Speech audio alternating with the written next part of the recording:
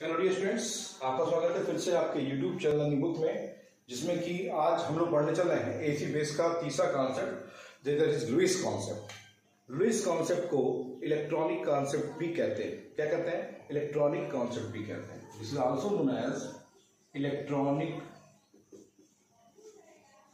concept electronic concept क्यों कहते हैं?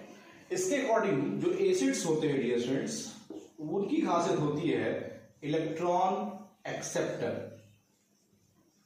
Electron acceptor. और जो बेस होते हैं, उन्हें बोलते हैं इलेक्ट्रॉन डोनर। क्या बोलते हैं? Electron donor. तो अगर कोई पूछे कि लुइस एसिड क्या होता है तो substance which have tendency to accept an electron pair जो इलेक्ट्रॉन पेयर को एक्सेप्ट कर सकता है। यहाँ पर ध्यान रखिएगा इलेक्ट्रॉन पेयर होना चाहिए, ध्यान इलेक्ट्रॉन नहीं इलेक्ट्रॉन पेयर और यहाँ पे भी इलेक्ट्रॉन पेयर तो कोई भी सबस्टेंस जो इलेक्ट्रॉन पेयर को एक्सेप्ट कर सकता है, उसे क्या बोलते हैं? एसिड कहते हैं। और कोई भी सबस्टेंस जो इलेक्ट्रॉन पेयर को क्या करता है? रिलीज़ कर सकता है, उसे क्या बोलते हैं? बेस कहते हैं। जैसे छोटा सा एग्ज़ाम्पल देखिए। अगर मैं एफ़ की बात करूँ और एफ़ प्लस थ्री की बात करूँ, जल्दी बताइए एफ़ क्या कर रहा है? अपने में से कितने इलेक्ट्रॉन निकाल रहा है? तीन इलेक्ट्रॉन निकालना है। तो क्या हो गया तो इलेक्ट्रॉन डोनर है। ये इलेक्ट्रॉन में से निकाल रहा है, ठीक है?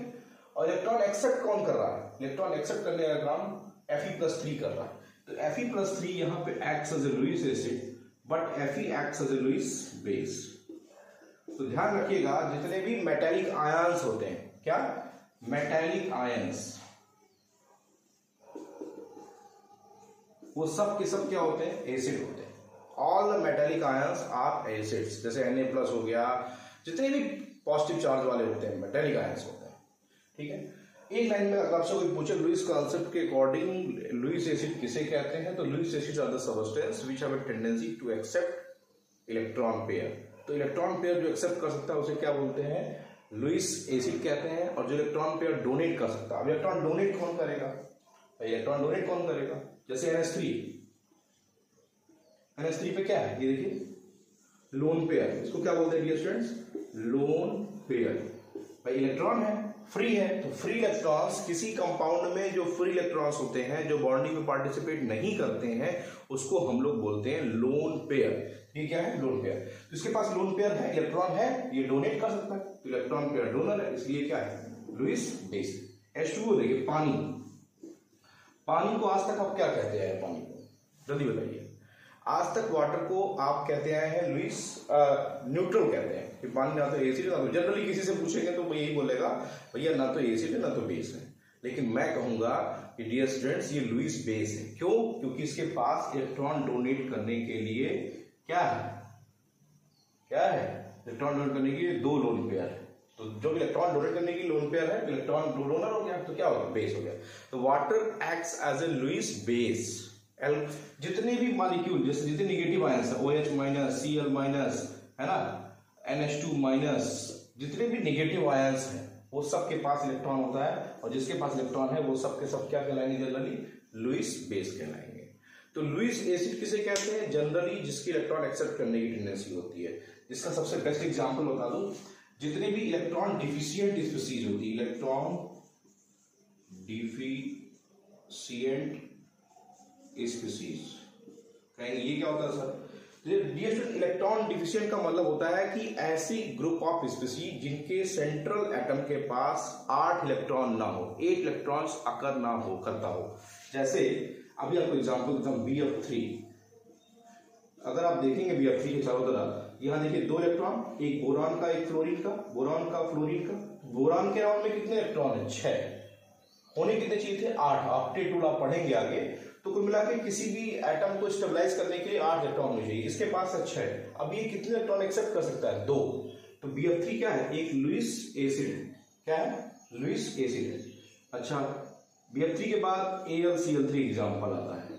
F E C L three आता है। ये सब पूछा जाता है कंपटीशन में। आपके पॉलिटेक्निक वनडे एग्ज़ाम में Lewis base acid class tenth level का ज़रूर पूछा जाता है। ये आपको एनसीआरटी e में नहीं मिलेगा। लेकिन मैं आपको इसलिए पढ़ा रहा हूँ क्योंकि एग्ज़ाम और कंपटीशन के लिए भी हमको पढ़ना है। ठीक है? थोड़ा कॉन्सेप्ट क्लियर हो जाने तो पूछे तो सारे सब तो जानते ही नहीं ऐसा नहीं होना चाहिए। यहाँ भी देखेंगे तो एल्यूमिनियम के चारों तरफ़ छह इलेक्ट्रॉन है एफ़ की चारों तरफ़ छह इलेक्ट्रॉन है। ये सब इलेक्ट्रॉन डिफिशियंट चीज़ है, ये ज़्यादा पूछा जाता है तो थोड़ा सा इस पर फोकस करिएगा कि बी एफ़ थ्री क्या है A L C L three क्या है एफ़ सी एल थ्री क्या है, जितने भी मेटेलिक आयन्स है वो क्या है? वो सब के सब इलेक्ट्रॉन एक्सेप्ट करने वाले हैं इसलिए क्या बोलते हैं? लुइस एसिड बेस की बात करें तो बेस के लिए जितने भी निगेटिव आयन्स होते हैं, जितने negative O H minus C L minus N H two water क्या है? लुइस बेस है। याद रखिएगा water act as Lewis base NSP क्या है? लुइस अमोनिया क्या है? बेस ठीक? इसके अलावा जितनी भी electron deficient electron rich species होती है इलेक्ट्रॉन रिच स्पीसीज अब कहेंगे, इसका क्या मतलब होता भैया?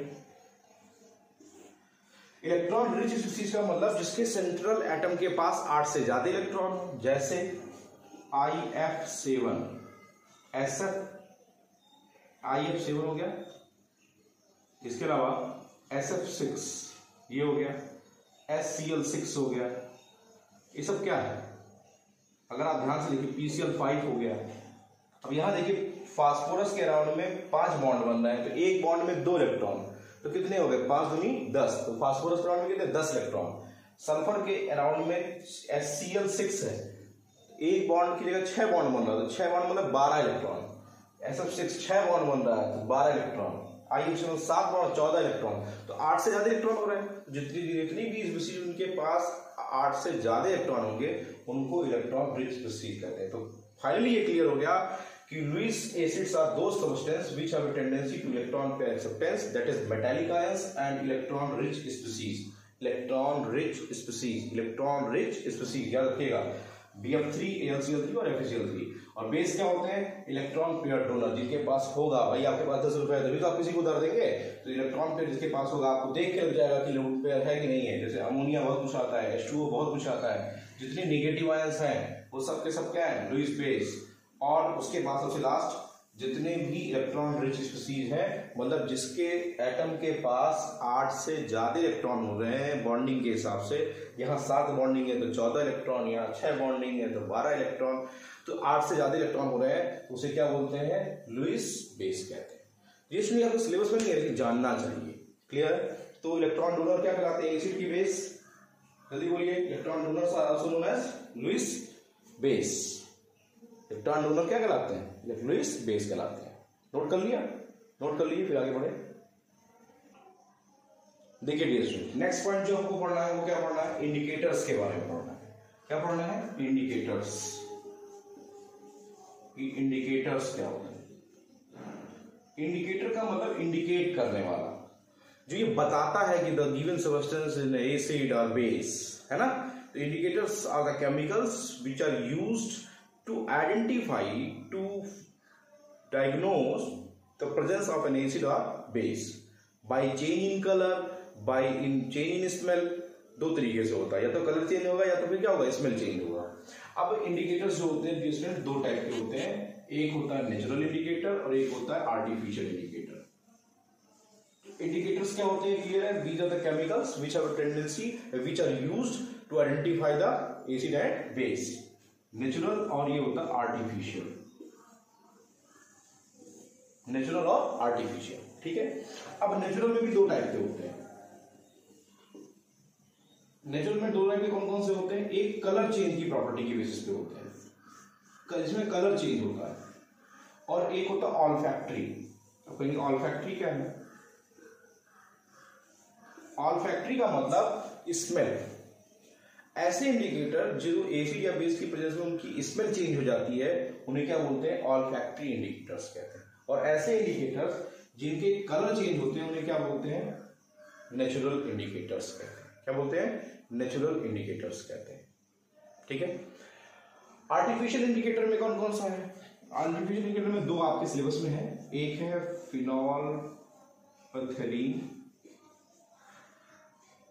और दूसरा है मेथिल ऑरेंज मेथिल ऑरेंज दो इंडिकेटर आर्टिफिशियल है। एक है फिनॉल थेलीन और दूसरा है मेथिल ऑरेंज ये ध्यान रखिएगा।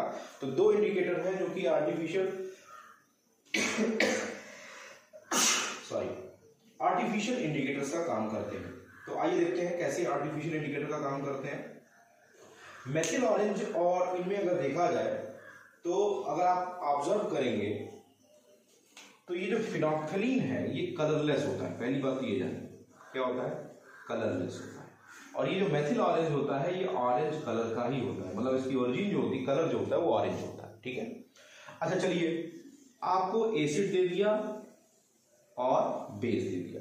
क्या दे दिया? एसिड दे दिया और बेस दे दिया। अब एसिड में आप क्या मिला दीजिए? फिनोफ्थलीन इंडिकेटर मिला दीजिए पी को मिला दीजिए। जैसे ही एसिड में फिनोफ्थलीन को मिलाएँगे no change in colour colour में change no change in colour होगा। लेकिन अगर बेस में फिनोफ्थलीन को मिलाएँगे तो ये किस कलर का हो जाता है? पिंक कलर का हो जाता है। तो फिनोफ्थलीन बेस की प्रेजेंस में पिंक कलर का हो जाता है, जो कि कलरलेस होता है, लेकिन बाद में पिंक हो जाता है in the presence of base base की प्रेजेंस में कैसा होता है? पिंक अक्सर आप मूवीज़ में देखते होंगे ना नोट्स पकड़वाने के लिए सीबीआई वाले क्या करते हैं? उसको एक सोल्यूशन में डिप करते हैं। वो सोल्यूशन कौन सा होता है? फिनोफ्थलीन होता है। ठीक? मिथाइल ऑरेंज जो ऑरेंज कलर का होता है, इसको भी आई उठाते हैं। एसिड और बेस में डालते हैं। इसको एसिड में डालेंगे तो एसिड में जैसे ही मेथिल ऑरेंज को डालेंगे तो ये रेड कलर का हो जाता है। कैसे कलर का होता है? रेड कलर और अगर बेस में डालेंगे एमओ को मतलब मेथिल ऑरेंज को डालेंगे तो ये हो जाता है येलो कलर का। कैसा हो जाता है? येलो तो मेथिल ऑरेंज बेस की प्रेजेंस में, उसके कलर चेंज क्या होता है? ऑरेंज कलर से वो येलो कलर में कन्वर्ट हो जाता है और एसिड की प्रेजेंस में वो ऑरेंज कलर से रेड कलर में चेंज होता है। तो कलर चेंज क्लियर रहेगा मेथिल ऑरेंज की प्रेजेंस में बेसिड में क्या चेंज होता है? अगर एसिड है तो मेथिल ऑरेंज का कलर ऑरेंज से किसमें कन्वर्ट हो जाएगा? रेड और अगर मेथिल ऑरेंज का कलर ब्लू वो है बेस की प्रेजेंस में है तो वो येलो हो जाएगा। तो आर्टिफिशियल इंडिकेटर्स क्लियर हो गया। इसके अलावा डियर स्टूडेंट्स एक होता है यूनिवर्सल इंडिकेटर्स वो भी वो भी आर्टिफिशियल ही होता है पीएच स्केल पे बेस्ड होता है। पीएच स्केल पे बेस्ड अगर कलर चेंज की बात करें तो पीएच स्केल में जो कलर चेंजिंग होती है पीएच स्केल में, एक होता है ग्रीन ठीक है? तो ग्रीन कलर जो होता है ग्रीन कलर है ना? ये जो ग्रीन कलर होता है, ये वाटर का होता है न्यूट्रल का कंडीशन होता है। अगर ग्रीन है तो वो क्या है? न्यूट्रल है। ग्रीन से जैसे जैसे कलर रेडिस होता रहता है तो वो एसिड होता रहता है। जैसे जैसे ग्रीन से रेड की तरफ़ जाएगा, वो एसिड होता जाएगा, और ग्रीन से जैसे जैसे वो ब्लू या वायलेट की तरफ़ होता जाएगा वो क्या होता जाएगा? बेस ये आगे हम पढ़ेंगे पीएच स्केल होती है।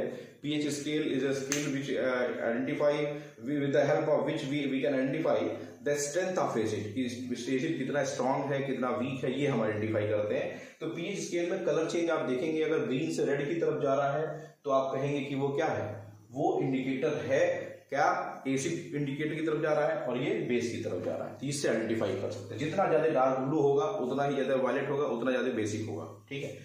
अब आते हैं नेचुरल इंडिकेटर में कलर चेंज की तरफ़। तो सबसे पहला आपका आता है, सबसे पहला लिटमस सोल्यूशन बहुत इंपॉर्टेंट है लिटमस सोल्यूशन आइए इसके बारे में डिटेल पढ़ लेते हैं। लिटमस सोल्यूशन क्या होता है डियर स्टूडेंट्स लिटमस सोल्यूशन एक हमारा होता है थैलोफाइटा फैमिली का। थैलोफाइटा बायो में पढ़ेंगे आप। थैलोफाइटा फैमिली का एक प्लांट होता है, वो प्लांट रियल में नहीं होता, वो ग्रुप ऑफ़ प्लांट्स होता है, जिसको बोलते हैं लाइकेन क्या बोलते हैं? Lichen L I C H N lichen lichen जो होता है डिस्टेंस क्या होता है? थैलोफाइटा फैमिली का लाइकेन है। लाइकेन से लिटमस सोल्यूशन बनता है। अब क्वेश्चन ये उठता है कि लाइकेन होता क्या है? तो लाइकन में डिस्टेंट दो चीज़ें पाई जाती हैं। एक पाया जाता है आपका एलगी और एक पाया था आपका फंजाई। मतलब lichen as a symbiotic relationship symbol symbiotical समझते सहजीवी म्यूचुअल फ़ायदा। आप हमारे साथ रह रहे हैं, आप मुझसे फ़ायदा ले रहे हैं, मैं आपसे फ़ायदा ले रहा हूँ। तो लाइकन कोई प्लांट नहीं है। Lichen is a group of plants which belongs from algae and fungi algae और एलगी जानते हो सवाल फंजाई मतलब कवक एलगी और फंजाई दोनों का ग्रुप होता है और वो ग्रुप मिलकर के एक साथ सहजीवन में रहते हैं। सिम्बियोटिक रिलेशन उसको क्या बोलते हैं? Symbiotic S Y M symbiotic relationship कहते हैं। तो एलगी और फंजाई जब सिम्बायोटिक रिलेशनशिप में रहते हैं तो उसे क्या बोलते हैं? लाइकेन बोलते हैं। क्या बोलते हैं? लाइकेन बोलते हैं। और ये लाइकेन का जो लिटमस सोल्यूशन होता है, इसका रियल कलर जो होता है पर्पल कलर होता है, ये एक नंबर का बोर्ड में बहुत पूछा जाता है। लिटमस सोल्यूशन का कलर कैसा होता है? पर्पल कलर का होता है। जब इसको एसिडिफाई और बेसिफाई बेसिडिफाई करते हैं अल्कलाइन मिलाते हैं तो लिटमस सोल्यूशन दो टाइप का हो जाता है या दो कलर का हो जाता है। एक होता है रेड लिटमस और एक होता है blue litmus paper blue litmus. देखिए रेड लिटमस की खासियत ये होती है डियर लिटमस सोल्यूशन का कलर कैसा होता है? जब वो न्यूट्रल होता है पर्पल होता है। लिटमस सोल्यूशन बनता कहाँ से? थेलोफाइटा फैमिली के लाइकन से बनता है। लाइकन क्या होता है? एल्गी और फंगाई का सिम्बायोटिक रिलेशनशिप सहजीवी का संबंध। सहजीवी का मतलब दोनों का संबंध जो होगा, वो एसिडिक बेसिक रिलेशनशिप पे है। मतलब दोनों म्यूचुअल रिलेशनशिप में होते हैं। और लिटमस सोल्यूशन कितने टाइप के होते हैं? रेड और ब्लू रेड लिटमस सोल्यूशन जो होता है, वो बेस को मतलब बेस की प्रेजेंस में वो ब्लू में कन्वर्ट हो जाता है, ये ध्यान रखिएगा। अगर रेड लिटमस सोल्यूशन को बेस में डाल दें मतलब बेस में डाल दें तो क्या हो जाएगा? ये ब्लू में कन्वर्ट हो जाएगा। और ब्लू को अगर एसिड में डाल दें, ये किसमें कन्वर्ट हो जाएगा? अगर कोई substance blue blue colour litmus solution को रेड में कन्वर्ट कर रहा है फिर सुन लीजिए। अगर कोई substance blue colour solution litmus solution को रेड में कन्वर्ट कर रहा है तो वो एसिड है। लेकिन अगर कोई सबस्टेंस रेड लिटमस सोल्यूशन को ब्लू में कन्वर्ट कर रहा है तो वो क्या है? बेस तो ये कलर चेंज हो गया। नेचुरल इंडिकेटर में दूसरा पॉइंट देखेंगे स्टूडेंट्स तो आता है टर्मेरिक टर्मेरिक जानते हैं? आज घर पे करके देख लीजिएगा इसका प्रयोग। टर्मेरिक पाउडर आप घर पे टर्मेरिक मतलब हल्दी भाई। एंटीसेप्टिक इसको आजकल कोरोना काल में लोग कह रहे हैं ना कि बहुत ज़्यादा एंटीसेप्टिक एंटीवायरल होती है। तो उसका यूज़ करिए, है ना? तो टर्मरिक क्या होती है? टर्मरिक सबसे बढ़िया इंडिकेटर है जो घर पे आप करके दे सकते हैं। आप जाइए अपने कपड़े पे एक हल्का सा टर्मरिक लगाइए और जरा सा साबुन लगाइए। जैसे ही साबुन लगाएँगे, आपका कपड़ा उतनी दूर क्या हो जाएगा? लाल हो जाएगा। इसका मतलब क्या है कि जो आपका सोप है, वो एक बेस है। तो मतलब turmeric powder in the presence of base क्या हो जाता है? In the presence of base क्या हो जाता है? In the presence of base क्या होता है? रेड हो जाता है। बट एसिड की प्रेजेंस में कोई कलर चेंज नहीं होता। एसिड की प्रेजेंस में कोई भी कलर चेंज नहीं होता। तो टर्मेरिक पाउडर की प्रेजेंस में कोई कलर चेंज नहीं होता एसिड में, लेकिन बेस में उसका कलर कैसा हो जाता है? रेड हो जाता है। क्लियर दूसरा पॉइंट ये हो गया। तीसरा आप देखेंगे रेड कैबेज रेड कैबेज अरे भाई, वो भी रेड कैबेज नाम सुने हैं। आई होप कि सुने होंगे। रेड कैबेज रेड कैबेज क्या होता है? रेड कैबेज नामी कलर रेड कलर का सोल्यूशन होगा। एसिड की प्रेजेंस में इसका कलर भी चेंज नहीं होता। इसका कलर चेंज इफ़ेक्ट नहीं होता। लेकिन बेस की प्रेजेंस में ये रेड कलर से ग्रीन कलर में कन्वर्ट हो जाता है। किस कलर में जाता है? रेड से ग्रीन कलर में चेंज हो जाता है। ये ध्यान रखिए। रेड से ग्रीन कलर में चेंज हो जाता है। क्लियर है? इसके अलावा ओल्फैक्ट्री में अगर देखा जाए तो ओनियन आपके लिए सबसे इंपॉर्टेंट है। ओनियन प्याज की महक। प्याज की महक एसिड के प्रेजेंस में कोई इफ़ेक्ट नहीं पॉसिबल बेस की प्रेजेंस में चेंज हो जाती है। दूसरा क्लोव ऑयल क्लोव जानते हैं? लोआंग क्लोव ऑयल तो इस तरीके से ओनियन और क्लोव ऑयल इसके अलावा वनीला तीसरा एक और है, वन इसमें वनीला तो ओनियन क्लोवायल और वनीला इनकी ऑल्फैक्ट्री स्मेल का इफ़ेक्ट पड़ता है, ठीक है? तो ऑल्फैक्ट्री स्मेल के बेसिस पे ओनियन क्लोवायल और वनीला ये इंडिकेटर्स का काम करते हैं। ये कलर चेंज के बेकर बेसिस पे देखा जाए तो लिटमस सोल्यूशन है टर्मेरिक पाउडर रेड कैबेज और कुछ प्लांट्स हैं जिनकी पेटल्स काम करती हैं। पेटल्स मतलब जानते हैं कलर्ड पार्ट ठीक है? तो उसके बारे में पढ़ेंगे। बट एक फ्लो चार्ट आपको क्लियर हो गया होगा। जो इंपॉर्टेंट क्वेश्चन बनते बता दिया। ये दोनों आपके लिए बहुत इंपॉर्टेंट है। ये आपके सिलेबस में है। लिटमस सोल्यूशन आपके सिलेबस में है। टर्मेरिक पाउडर बेस की प्रेजेंस में कैसा हो जाता है? रेड हो जाता है। इसको नोट कर लीजिए। बाकी हम लोग कल फिर मिलते हैं नेक्स्ट वीडियो लेक्चर के साथ। और आई होप कि आपको टॉपिक क्लियर होगा। ऐसे एक फ्लो चार्ट बना लीजिएगा। और एक फ्लो बना के पढ़ाई करिएगा, ठीक है? Thanks for watching my video इस क्वेश्चन और सॉल्व करिएगा।